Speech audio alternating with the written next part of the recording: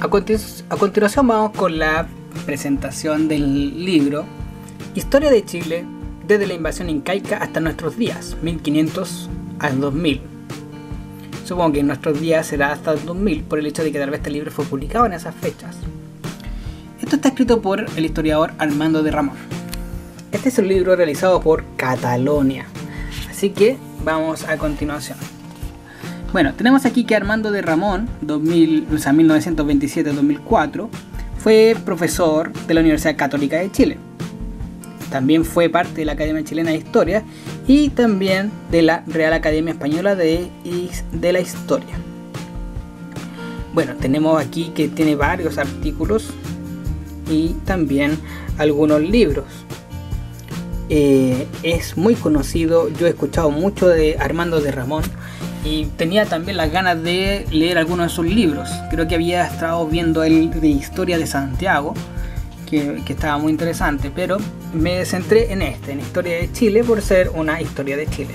Como pueden notarse, es un libro bastante corto para ser un libro de historia de Chile pero como se puede indicar también es un libro que está hecho para introducir al tema, no necesariamente para explicar detalladamente cada aspecto de la historia de Chile, para eso tenemos otros historiadores.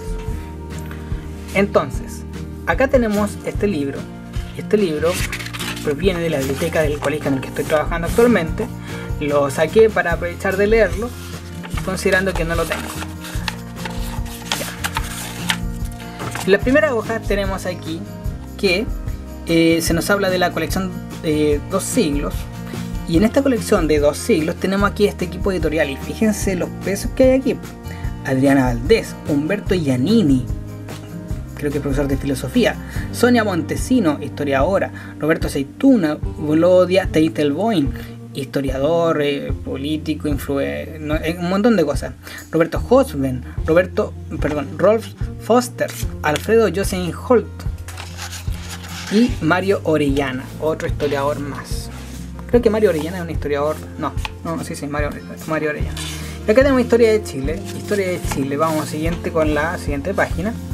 Y vamos a ver de qué editorial es. Perdón vamos a ver los datos bibliográficos la Oscar Legal. Y acá tenemos que este, esta edición que yo tengo es del año 2010. Es la quinta edición. Y está trabajada por, primero, el diseño de la portada, Guarulo y Arlonos. Acá está el diseño, diseño de la portada. Una clásica portada de Catalonia, roja, con líneas negras y sus letras amarillas. Y abajo el logo Catalonia. Tenemos acá fotografía de la portada que es hecha por Horst Forster Kraus, que Forster, no, no apareció ese nombre por aquí atrás, en el equipo editorial. Sí, Rolf Forster. Y aquí la foto es de Horst Forster, Forster Kraus. ¿Será el abuelo? Una cosa así. Bueno, dirección editorial Arturo Infante Reñasco, que ya hemos visto bastantes veces editorial, eh, dirigiendo la editorial. Y por último fue impreso por Salesianos Impresores. Acá tenemos el índice, como se puede notar. Vamos a esperar que enfoque ahí, bien. El índice. Lo voy a pasar rapidito para que lo puedan ver todos. Y hoy día vamos a ver la primera parte. Bueno, acá hay dos palabras que las que él habla, la que nos menciona, en la que nos menciona su, su objetivo con este libro. Y comenzamos con la introducción. En esta introducción debo destacar aquí un mapa que hay, que es el mapa de la expansión de Chile. Entonces vemos que está separada por cuadraditos y estos cuadraditos nos indican a nosotros cuáles son las inclusiones territoriales. Se parte con este cuadradito y vemos que al norte hay un cuadrado que marca todo el norte de Chile y dice 1842 a 1883. Acá también, aquí abajo nos va indicando cuándo son incorporados los territorios que más al sur. 1881, 1848 al 875, 1940, 1845, 1900, 1854. Ahora, lo que también hay que indicar es que esta imagen igual tiene un poco de, de, bajo resolución, por eso se, se, se siente muy apretada las letras, etc. Y bueno, tenemos aquí la característica de este mapa, que es la primera vez que yo veo este tipo de mapa. Seguimos con la introducción. Y en la introducción nos encontramos de cómo él explica el territorio chileno. Cuáles son las características que tiene el territorio de Chile y cómo se va eh, expresando este territorio a través de los climas, a través de la geología, a través de la demografía que hay a lo largo del, de lo de, a lo largo de la historia. Y comienza a hablar después de cómo empiezan a llegar los primeros habitantes. Pero antes de hacer eso, nos habla brevemente, brevemente, es que muy brevemente, estamos hablando de tres o cuatro páginas, en que nos explica primero que, eh, bueno, explica que los españoles se, se, logran eh, ubicar en cuatro zonas culturales. Es decir, que primero hay cuatro zonas culturales antes de que lleguen los españoles. La primera es la de los incas. Bien, esa, esa zona llega a los españoles, que es el norte de Chile actual. A los después siguen en la zona cultural de los diaguetas, después de los Aconcaguas, que es la zona de Santiago, y después de los Promaucaes, que así le llama a los primeros habitantes de la zona sur donde está el río Bío, que nosotros actualmente conocemos como Mapuche. Entonces dice que los españoles van atravesando todas estas zonas culturales y van llegando a ubicarse. Ahora, eh, dice que él, bueno, él, eh, Armando de Ramón, prefiere no designar a los promaucaes como mapuches porque él considera que son una transición cultural hasta los mapuches del sur. Es decir, la gente, los habitantes que se encuentran en Rancagua, en Talca, en Chillán, para él no son, no son promaucaes, son intermedios.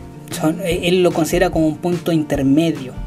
Entonces, esto lo estamos escribiendo, esto lo está escribiendo Armando de Ramón, eh, en una época en que está surgiendo los movimientos mapuche, reivindicatorios, etcétera, de, las zonas territoriales chilenas. Esto lo preparó eh, Armando de Ramón el año 2003, el año 2003. Entonces ya había pasado un tiempo desde 10 años, desde, la, el centenario, desde la conmemoración de los 500 años del descubrimiento de América por lo tanto, ya había pasado mucho tiempo en que ya están estos movimientos que, reivindicatorios territoriales de los pueblos mapuches. Pero acá él los trata de promover a la gente que está entre medio de Santiago hasta, hasta la zona del Biobío. Y ahí donde está el Biobío, él nombra, dice que ahí se pueden considerar ya mapuches. Ahora, los mapuches, dice, serían para los españoles la quinta área cultural. Hay que indicar nuevamente que para Armando de Ramón son, son cuatro áreas las culturales las que atraviesan los españoles. Los incas, los diaguitas, los aconcaguas y los promaucais, pero no logran atravesar el Biobío para incluir su cultura sobre la cultura mapuche, que sería la quinta área cultural. La quinta área cultural. Bien, ahora, dice, empieza a abordar el tema de cómo se fue poblando el territorio del punto de vista de los españoles y va a un dilema que hay siempre una pregunta historiográfica que él plantea que es ¿por qué Valdivia, cuando, Pedro de Valdivia, cuando llegó aquí a, Chile, a, este territorio, tenía que conquistarlo, tenía que ocuparlo? Pero Pedro Valdivia lo que va haciendo es que va fundando ciudades a lo largo de Chile entonces los historiadores se plantean de por qué Pedro de Valdivia debilitó sus fuerzas dejando un contingente de soldados en, cada ciudad en vez de utilizar una gran masa de soldados. Entonces siempre ha habido esa pregunta y por qué, por qué hizo eso. Y acá Armando de Ramón en la página 28 dice lo siguiente. Se ha interpretado esta ansia de fundaciones que arrancaba que acarreaba una funesta dispersión de fuerzas como un deseo de tomar posesión de territorios cuyos títulos reales eran vagos e imprecisos y, por tanto, como una manera de extender las fronteras fijando el marco a una gobernación y a un proceso colonizador. Sin embargo, estas fundaciones deben ser vistas a la luz del proyecto colonizador de Valdivia, quien pensaba que la zona donde habitaba el pueblo mapuche, precisamente por tener un gran número de habitantes y a la vez muchas riquezas, incluido el oro, debía dedicarse solo a la explotación de estas. Los cultivos agropecuarios extensivos deberían hacerse en la zona central, en especial en el corregimiento de Santiago, el cual tendría como misión proporcionar los alimentos que precisaba la región sur como una especie de gran almacén. Este es el proyecto que trató de ser impuesto por la fuerza durante la segunda mitad del siglo XVI y es el, que, es el mismo que terminó de fracasar en 1598. Entonces, lo que él planteaba era que Santiago fuera la gran distribuidora de alimentos, eh, productora y distribuidora de alimentos hacia las ciudades. Por eso él no planteaba la idea de eh, centrarse en una pura ciudad, sino que su intención era que estas ciudades que él iba fundando iban a permitirle a él tener soberanía, pero principalmente generar este tipo de vinculación con la colonización para que la gobernación tuviese un rasgo legal justificado en la ocupación efectiva del territorio y convertir a Santiago en la productora de alimentos. Sigue Armando de Ramón con la introducción y luego de eso nos presenta algunos datos con respecto al mapa actual. Ahora, cuando yo leí el título de este libro decía desde la invasión incaica hasta nuestros días. Y en este punto, ya estando en la página 32, ya habiendo pasado por Valdivia, me preguntaba yo, ¿en qué minuto va a hablar de los incas? ¿No habló de los incas más que tres o cuatro párrafos? ¿Eso será todo? Entonces pasamos al capítulo 1, la hispanización en la zona central de Chile. Y en esta explicación, en este capítulo nos habla de la sociedad señorial, de cómo se trataba a esta sociedad nueva a través de los habitantes que colonizaron, españoles, y fundaron pequeñas haciendas, haciéndose considerar como señores, señores como señores de la nobleza. Entonces también Armando Ramón nos hace introducción de los, de los, de los jóvenes, perdón, de los mercaderes que hay en la cercanía. También dice que, eh, bueno, relata, eh, hace el relato de algunos españoles y nacidos en Chile que lograron fortuna con negocios. Ahí empieza cuando habla de los mercaderes. Habla de un tal Torres. Y el surgimiento de estos mercaderes marcó la eh, decadencia de los señores rurales. Aquí se mete en la, economía de la conquista y implica que los señores mercaderes van a tener un poco más de poder que los hacendados. Así también dice que los monasterios eh, recibieran eh, a jóvenes de la élite como monjes. A cambio, los postulantes debían una dote al monasterio.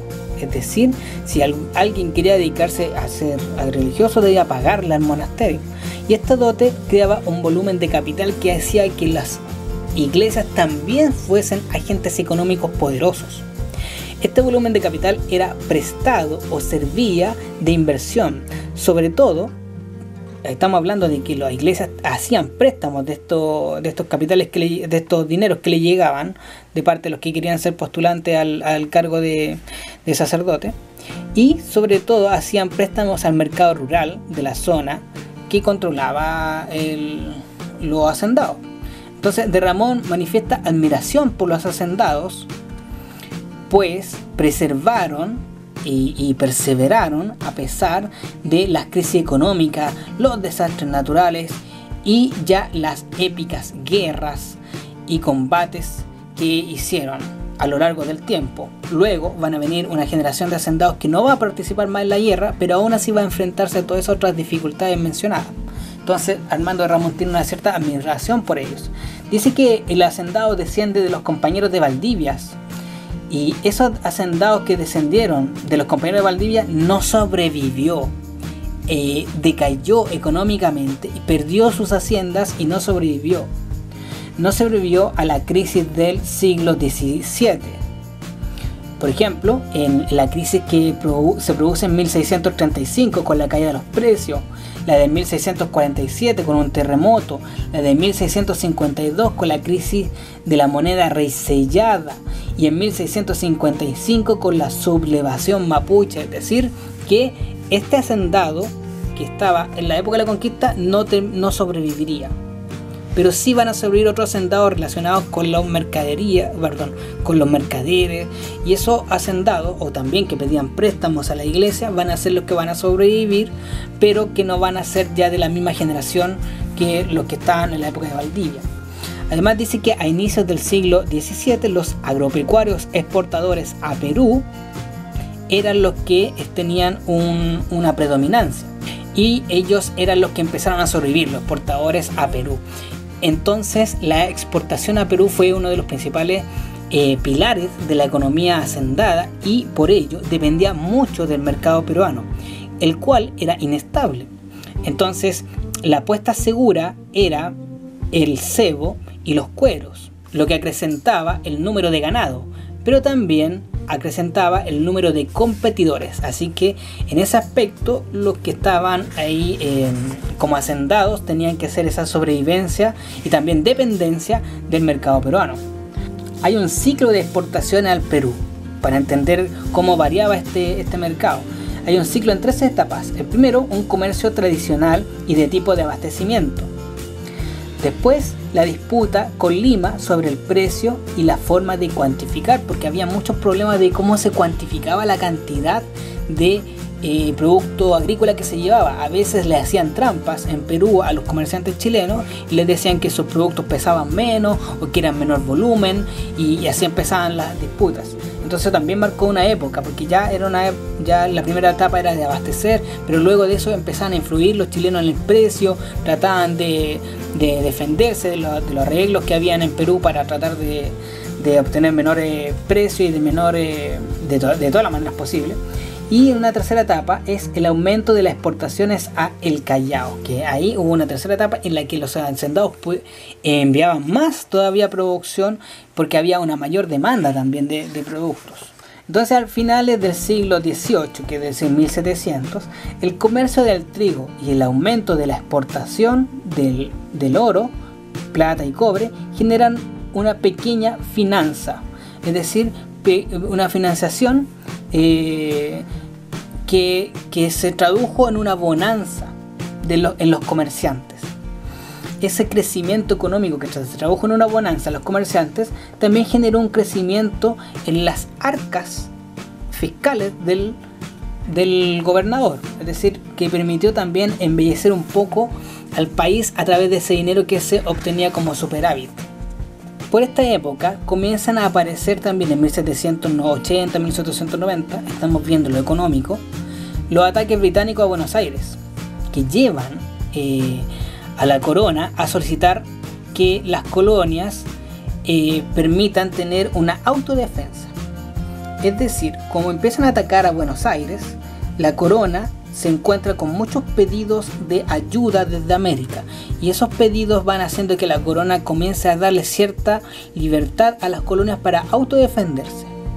Ello, esa, esa como respuesta de la corona de que intenten defenderse por sí mismos, llevó a pensar en la posibilidad de un autogobierno y ahí es donde comienza también a, pensarse en, si se puede gobernar uno, estamos hablando de finales de 1780, 1790, de cómo se podría gobernar Chile en el caso de que fuese atacado por alguien y cómo sería ese autogobierno para tratar de pensar también en la manera en que eh, se podría ver la posibilidad de incluso hablar de una autonomía.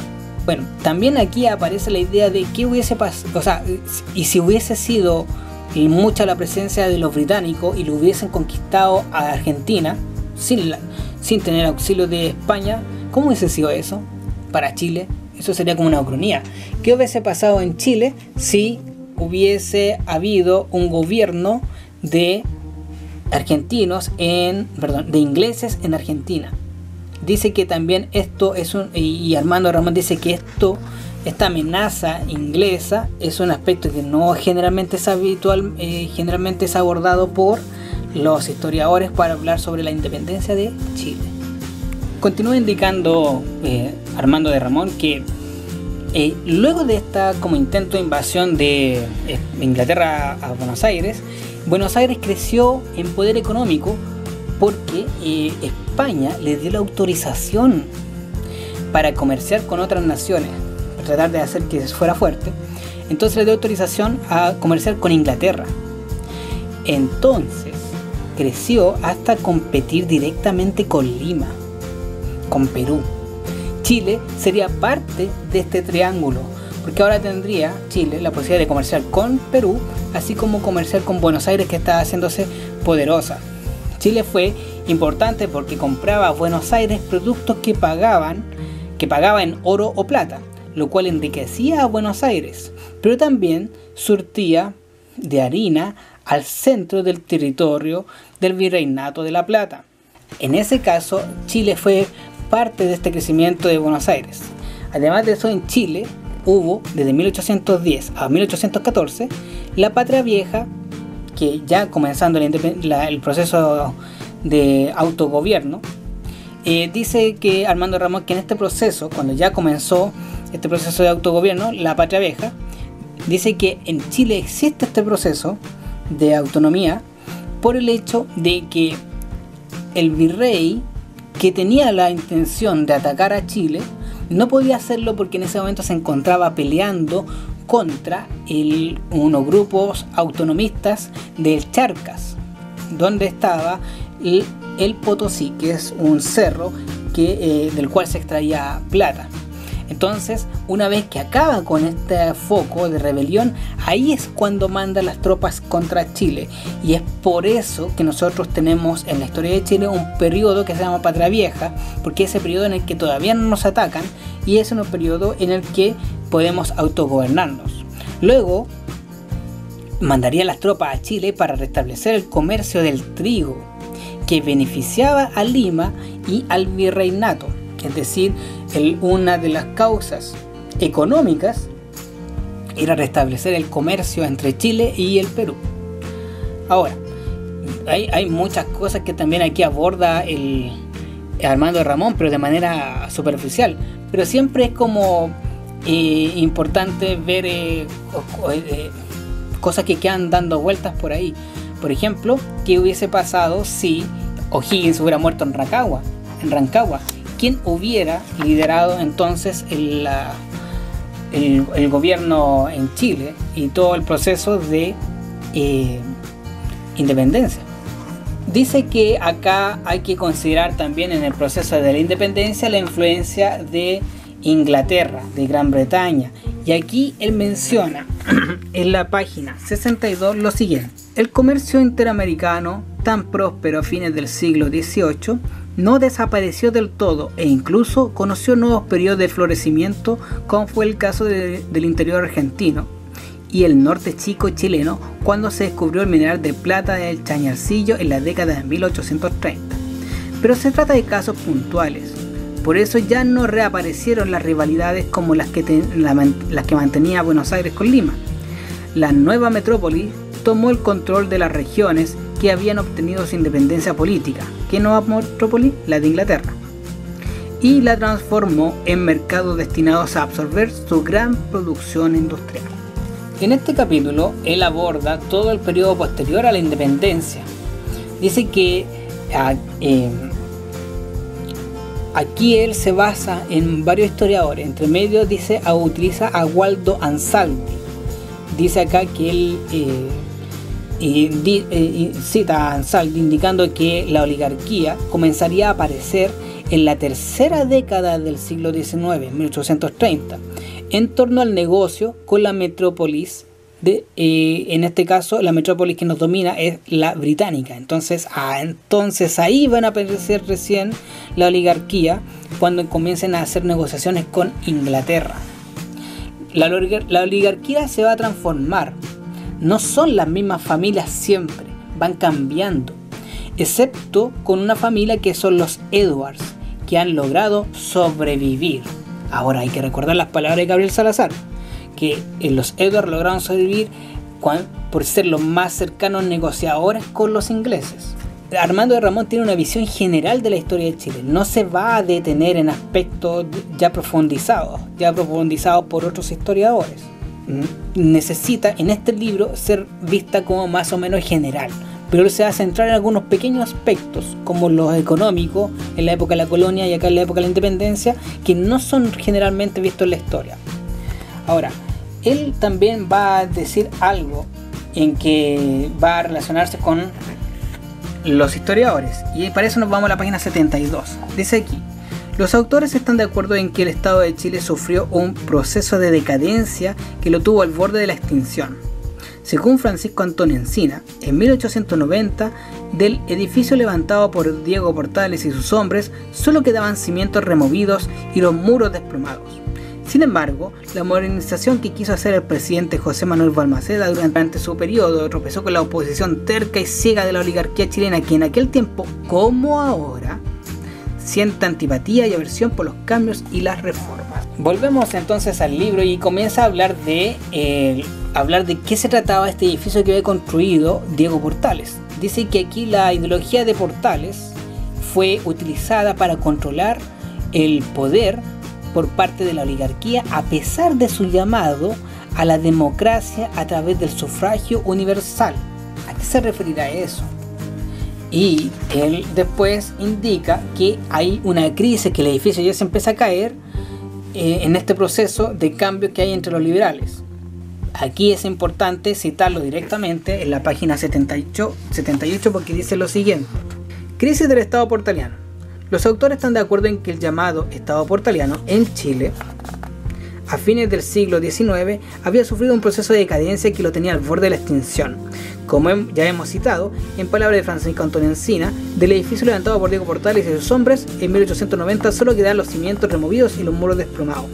Casi todos los historiadores, al llegar a este trágico capítulo de la historia nacional, intentan alguna explicación sobre la guerra civil de 1891 y aventuran sus propias conclusiones. Así, el mismo Encina expresaba, expresa que el presidente José Manuel Balmaceda no luchó por salvar una creación política moribunda, sino por realizar el milagro de la historia aún no, el milagro que la historia aún no ha conocido, de resucitar un régimen que espiritualmente era ya cadáver insepulto.